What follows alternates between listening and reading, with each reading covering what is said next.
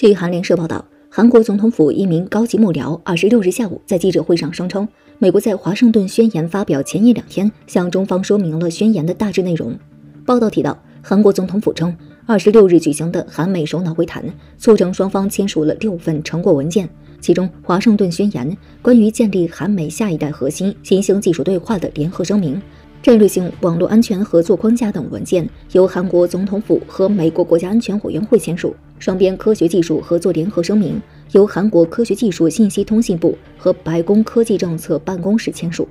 报道称，据韩国总统府上述高级幕僚所知，美方事先向中方大致说明了华盛顿宣言的内容，即不包含与中方直接冲突的因素。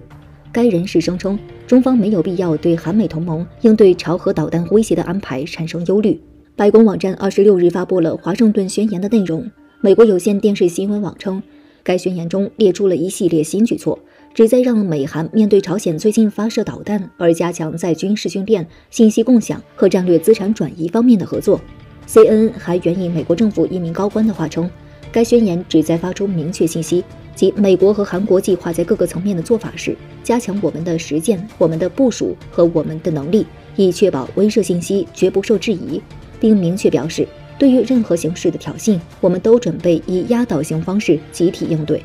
在华盛顿宣言二十六日发表前，韩国中央日报预告称，该宣言的核心内容为新设核资商小组，定期在朝鲜半岛出动核潜艇等战略资产，以及扩大美国核资产相关信息共享等。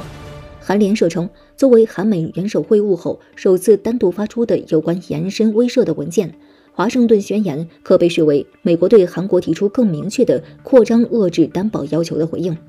韩美达成的核保护伞协议不如美国与北约盟友的。韩民族新闻二十六日报道称，华盛顿宣言是希望与美国共享核武器的韩国政府与对此持否定态度的美国政府之间折中的结果。在美国核战略资产的使用方面，总统具有独占性、排他性的最终决定权。